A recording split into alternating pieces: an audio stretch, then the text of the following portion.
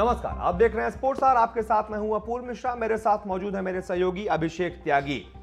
हम इस वीडियो में आपको बताने जा रहे हैं जो पहला टेस्ट मैच हुआ है इंडिया और न्यूजीलैंड के बीच, जिसमें टीम इंडिया की बहुत बुरी हार हुई है। पूरे 10 विकेट से टीम इंडिया हार गई और पारी की हार होते होते बच गई। उस शर्मनाक हार की पाँच बड़ी वजह क्या रही? पाँच बड़े कारण क्या रहे, हम इस पर बात करने जा रहे हैं। हम डिटेल्स में आपको बताएँगे कि आखिरकार टीम इंडिया ने कौन कौन सी गलतियाँ की हैं, जिसकी वजह से टीम इंडिया ये मैच हार गई। लेकिन सबसे पहले आपको पूरे मैच में क्या क्या हुआ, इससे जरा जल्दी से रूबरू करवा देते हैं। हुआ क्या कि न्यूजीलैंड ने टॉस जीता और अमूमन जब भी न्यूजीलैंड के विकेट्स पर कोई टॉस जीता है तो पहले बॉलिंग ही करना पसंद करता है, क्योंकि वहाँ पर सबसे एवरेज जो फ़र्स्ट इनिंग स्कोर है सबसे कम है दुनिया में। न्यूजीलैंड में पहली इनिंग में सबसे कम रन बनते हैं। इसीलिए न्यूजीलैंड ने वो किया भी। इंडिया को बैटिंग के लिए उतारा। भारतीय बल्लेबाजों ने बहुत ज़्यादा निराश किया। सिर्फ़ अजिंक्य रहाणे को छोड़ दें, जिन्होंने भी बहुत ज़्यादा रन नहीं बनाए, कुछ 40 के आसपास रन बनाए थे। उसके अलावा कोई भी बल्लेबाज नहीं चल पाया और टीम इंडिया पहली पारी में एक सौ पैंसठ रनों पर ही ढेर हो गई।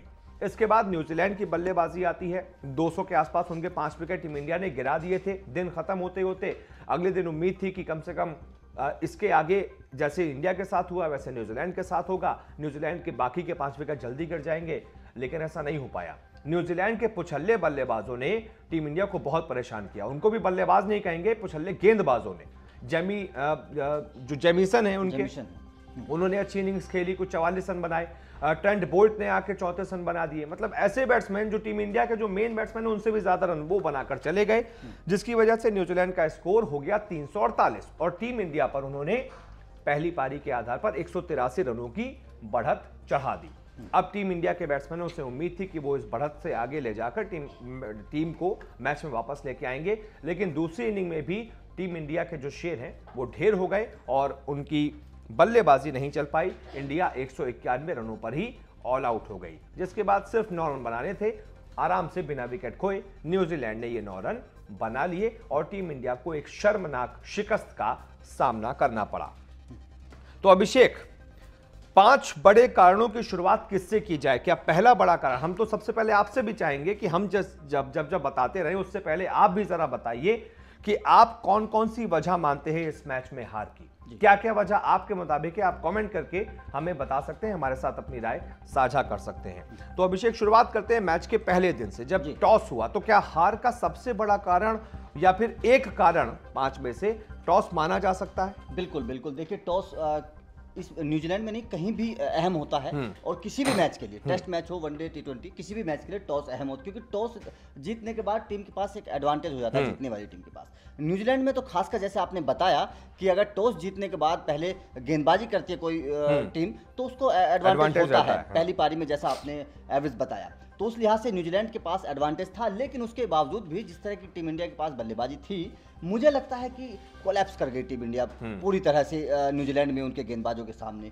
जिस तरह से बोल्ट ने एक सटीक और सऊदी ने जिस तरह से एक रणनीति के तहत गेंदबाजी करी हम्म। सभी बल्लेबाजों को वो सफल हुए वो ये तो आगे का कारण होगा सबसे हाँ। पहला कारण हम मानते हैं टॉस ने एक तरीके से टीम इंडिया को शुरुआत से ही पीछे ढकेल दिया हाँ। क्योंकि न्यूजीलैंड में क्या होता है हम्म। आप लोगों को मैं बता दूँ कि न्यूजीलैंड एक ऐसा देश है जिसका क्रिकेट की दुनिया में पहली पारी का औसत स्कोर सबसे कम है। सबसे यानी आसान भाषा में बताएँ तो अगर भारत या ऑस्ट्रेलिया में आप खेल रहे होंगे और न्यूजीलैंड में खेल रहे होंगे तो न्यूजीलैंड में सबसे कम रन बनते हैं पहली, पहली पारी। में। क्योंकि ये माना जाता है कि वहाँ पर बॉल बहुत ज़्यादा स्विंग करता है और जो पहले बैटिंग करती है टीम हम्म। उसको हमेशा नुकसान होता है। हम्म। और यही एक और आंकड़ा भी है कि न्यूजीलैंड में ही दूसरी पारी का औसत स्कोर दुनिया में सबसे ज़्यादा भी है। यानी पहली पारी में सबसे कम है और दूसरी पारी में सबसे ज़्यादा है। तो ऐसा होता है कि कई बार टीम्स पहली पारी में अगर नहीं भी अच्छा खेल पाती हैं हम्म। तो उनके पास मौका होता है क्योंकि दूसरी पारी में विकेट बहुत आसान हो जाता है और इसीलिए औसत स्कोर वहाँ 400 के आसपास है हम्म। दूसरी पारी दूसरी में लेकिन यहाँ पर क्या हुआ?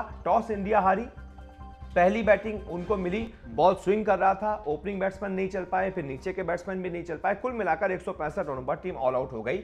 यहाँ से जो बैकफुट पर टीम इंडिया आई फिर उसके बाद मैच में वापस नहीं आ पाई क्योंकि न्यूजीलैंड को आप जल्दी में आउट सस्ते में आउट नहीं कर पाए और उसके बाद जो सेकंड इनिंग्स थी वहाँ पर भी आप नहीं चल पाए तो टॉस ने एक बहुत अहम फैक्टर निभाया। तो ये हार का सबसे बड़ा कारण और सबसे पहला कारण हम टॉस को ही मानते हैं क्योंकि उसने शुरुआत से ही मैच में टीम इंडिया को पीछे। ढकेल दिया था। दूसरा बड़ा कारण टीम इंडिया की बल्लेबाजी। जो बल्लेबाज दुनिया भर में जाने जाते हैं अपनी बल्लेबाजी के लिए टीम इंडिया के शेर कीवियों के आगे ढेर हो गए। बिल्कुल बिल्कुल। देखिए बिल्कुल बल्लेबाजी से बिल्कुल निराश हूँ मैं। हम्म। अगर खासकर मैं बात करूँ तीन नाम लेना चाहूँगा पृथ्वी शो हम्म। शुभमन गिल की जगह उनको मौका दिया गया जबकि शुभमन गिल न्यूजीलैंड में अच्छा कर चुके हम्म। हैं 400 से ज़्यादा रन शुभमन गिल बना चुके हैं लेकिन उसके बाद भी अभ्यास मैच में क्योंकि वो नहीं चल पाए हम्म। पृथ्वी शो ने उनसे बेहतर प्रदर्शन किया तो पृथ्वी शो को मौका मिला और शुभमन गिल को बाहर बैठना पड़ा शुभमन पृथ्वी शो से मैं बहुत निराश उसके बाद में चेतेश्वर पुजारा काफ़ी उम्मीदें रहती है वन डाउन आती है तीसरे नंबर के सबसे बड़े बल्लेबाज टेस्ट मैचेस ही हाँ, खेलते हैं। हाँ, टेस्ट मैचेस खेलते हैं लेकिन गेंद काफ़ी खाली और उसके बाद में जब सेट हो जाते हैं तो आउट होकर चले जाते हैं जिससे टीम पर दबाव आ जाता है। उसके बाद में विराट कोहली। देखिए पिछले कुछ अगर आठ दस पारी आप विराट कोहली की देखें टी ट्वेंटी वनडे या फिर टेस्ट की पारी देखें तो विराट कोहली उस रंग में नज़र नहीं आ रहे जिस तरह से वो जाने जाते हैं। लगातार रन बनाते हैं टेस्ट कोई भी फॉर्मेट हो। तो विराट कोहली के सामने जिस तरह से सटीक लाइन लेंथ के के साथ रणनीति के साथ गेंदबाजी करी है अ, साउदी ने और बोल्ट ने। आपने दूसरी पारी में भी देखा होगा बोल्ट ने बोला भी है उनका बयान भी आया है कि हमने एक सटीक रणनीति के तहत विराट कोहली को आउट किया है। पहले उनको रनों के लिए तरसा और जब वो दबाव में आ जाते हैं रन बनाने के तो वो गलत शॉट खेलते हैं। वैसे अक्सर विराट कोहली के सामने ऐसा देखा नहीं गया है कि विराट कोहली इस तरह से आउट होते हैं लेकिन इस इन दोनों ही पारियों में इस मैच में विराट कोहली के साथ ऐसा हुआ तो मैं तीनों बल्लेबाजों की खासकर बोलना चाहूँगा कि इन तीनों ने बड़ा निराश किया है अपनी बल्लेबाजी से पहली पारी में भी और दूसरी पारी में लेकिन फिर बात ये आ जाती है ना कि बाकी के बैट्समैन क्या कर रहे थे? टीम इंडिया के पास तो और भी बैट्समैन थे टीम इंडिया के पास मनीष अग्रवाल भी थे टीम इंडिया के पास अजिंक्य रहाणे भी थे हनुमा विहारी भी थे ऋषभ पंत भी थे।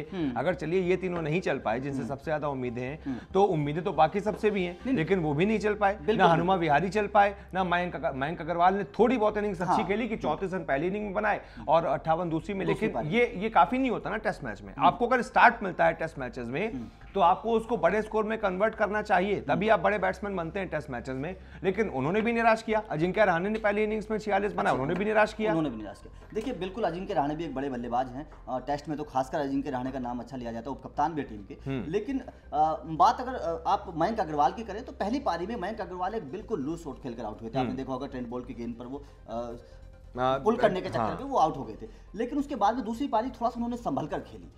उसके बाद में लग रहा था कि आज हाँ मयंक अग्रवाल शायद अच्छा खेलेंगे। हम्म। और लेकिन फिर दोबारा वो गलत शॉट खेलकर आउट हो गए। या कह सकते हैं कि अनलकी थे कि तो एक तरीके से जो बल्लेबाजी का फ्लॉप रहना हाँ, पहली इनिंग में जो बल्लेबाजी फ्लॉप हुई वो भी एक हार का बड़ा कारण, बन गई। अब आते हैं तीसरे बड़े कारण पे। चलिए आपकी बॉलिंग अगर नहीं अच्छी हो पाई तो कम से कम आप आपकी बैटिंग अच्छी नहीं हो पाई तो कम से कम आप उम्मीद करते हैं कि बॉलिंग अच्छी कर देंगे। और जैसे कि आप एक पर ऑल आउट हो गए हाँ। तो न्यूजीलैंड को भी सस्ते में ऑल आउट करेंगे ताकि आप मैच में वापस आ सकें। लेकिन ऐसा नहीं हो पाया। यानी हार का तीसरा बड़ा कारण रहा लचर गेंदबाजी बिना प्लानिंग के गेंदबाजी।